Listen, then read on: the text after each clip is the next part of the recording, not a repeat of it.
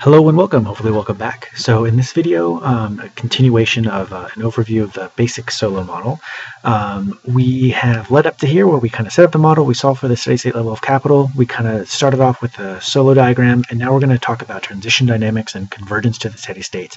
So realize that this model, uh, remember, remember when we introduced the setup of the model, we're dealing um, with a model that's dynamic, so it's something that evolves through time. So um, you could uh, you could use the Solow diagram to think about where steady state levels are, but you could also take this information and create a time series graph to see how the key variables that we care about, you know, like output, consumption, investment, uh, as well as per capita values of all those things, um, evolve through time. Uh, and then uh, you could also uh, that, that's being able to do this is also going to help when we um, shock make shocks to the economy to see how they affect the economy through time. So uh, yeah, how do I how do we do this? How do we set this up? Well, here's our Solow diagram that we'd set up before. So our green line is the investment line, reflecting um, given some amount of capital per worker, this is how much um, is going to be uh, saved and invested and converted into capital in the future. Uh, the yellow line here is our break-even investment line. So given a certain amount of capital, this is the amount of investment required to keep that capital per worker stock constant. Uh, and then the red line here is just output per worker. Um, so when we found the steady state, you know, we'd done this both in the diagram and by equations, we'd found the point where uh, investment equals the uh, break-even uh, break-even investment required to keep the um, capital per worker constant. So this is our steady state level of capital per worker, and associated with that level of capital per worker, we have output per worker of this level. So that's our, our Y star. Um, so in terms of transition dynamics and convergence, uh, we walk through uh, using the diagram why if the capital stock happened to be at any point down here, um, it's going to converge up towards the steady-state level of capital. The reason why is that investment is great, greater than the break-even investment line. So the amount that's being invested in the economy and saved in the economy and converted into the capital stock is greater than the amount required to keep that constant. So the difference between these two uh, is how much the capital stock is increasing uh, in per worker terms. And then similarly, if the uh, capital if the capital per worker stock happened to be any of this territory and above, uh, it's going to converge down towards the steady state level. So let's see what that might look like in a time series graph. So we have a steady state level, K star. Um, what if we just started off somewhere way, way down here? What would happen? Well, I put together a little spreadsheet to show what would happen. So with this, uh, so here we're dealing with aggregate levels. Uh, here we have um, aggregate capital. Uh, here we have aggregate output Y.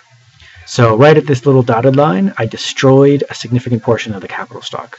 So I, uh, you know, we were at the steady state before, and then at this point, all of a sudden, a whole bunch of capital has been destroyed, disappears, uh, and so the the very next period, we start off at a very low amount of capital. And what we see is when the cap when capital is very low, right, investment's much greater than um, the, the break-even investment required, and so we start to see an increase in the capital stock. Uh, and along with the increase in the capital stock, we see an increase in output going to in, terms of per capita terms, you know, per worker terms. Um, this is lowercase k, this is lowercase y, and you have a very similar story that looks looks pretty much the same.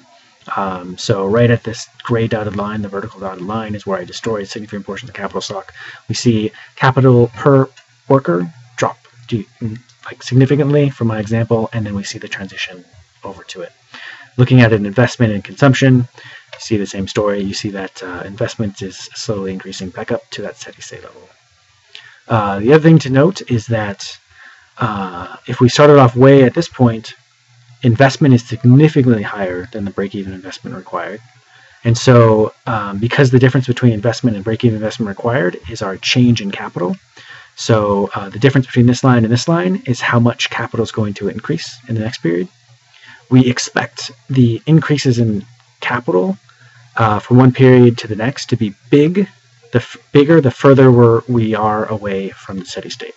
So if we're down over here, we expect um, the increase in the capital uh, per worker to be big.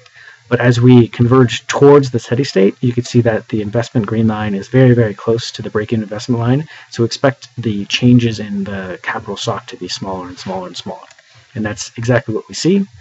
Um, you know, starting right here, you see a big increase in capital per worker um, because investment is so significantly larger than uh, the break-even required. But as we approach the steady state value, the increases in capital per worker are smaller and smaller and smaller and smaller. Uh, and that's it from below. What about from above? Suppose the suppose we're somewhere over at this point. What would happen? Well, what would happen is, um, so just to set up what's going on here, so once again, time is on the horizontal axis. Here we have lowercase k, so that's capital per worker here. Um, I had initially the steady state value, and then right at this gray dotted line, what I did is I increase capital per worker significantly. So capital per worker jumps up significantly, uh, and then what happens? Well, looking at the Solow diagram, also looking at this law of motion equation, we know that if we're at a very high amount of capital per worker, then at that very high amount, then the break-even investment line, the amount required to keep capital per worker constant, is significantly above uh, the investment line, where investment is how much people are actually saving and converting into capital. So the difference between the two is how much the capital per worker is going to decrease. So since we're very, very far away from the steady state, the initial moves the initial decreases in capital worker are going to be very large, and then as we approach the steady state, as we converge, uh, there'll be less and less, and we'll converge to this K star. And that's exactly what we see. Um, here is where uh, I increase the capital stock quite a bit, and it converges towards that steady state value. Similar story with um, consumption and investment. Cool, great. Hopefully that was helpful. If it was, be sure to give it a thumbs up. Um, and also keep in mind, you know, this is one video of many, um, so check out the video description for more stuff on Solow model. Okay, bye.